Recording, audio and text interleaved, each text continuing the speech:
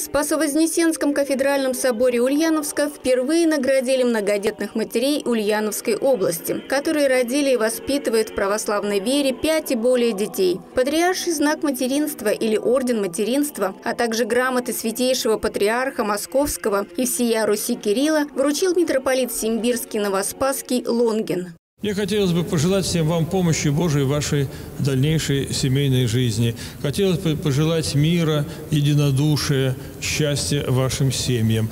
Дай Бог, чтобы как можно больше, э, больше людей следовало бы вашему примеру, как можно больше людей бы рожало и воспитывало детей, причем старалась бы воспитать их в традициях нашего народа, в традициях э, православной веры. Патриарший знак материнства – это награда Русской Православной Церкви, установленная в благодарность и благословление за исключительный пример подвига чадолюбия, материнства, служения семье и укрепления семейных ценностей в российском обществе. Так говорится в положении об этом знаке. Этим орденом материнства были отмечены пять многодетных мам региона.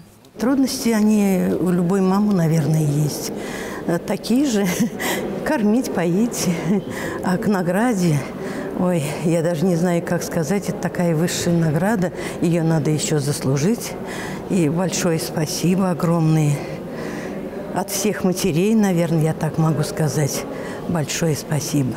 Также за труды по сохранению семейных ценностей и духовно-нравственных традиций нашего Отечества 9 человек были удостоены архиерейских грамот. Вся школа работает по направлению основ православной культуры.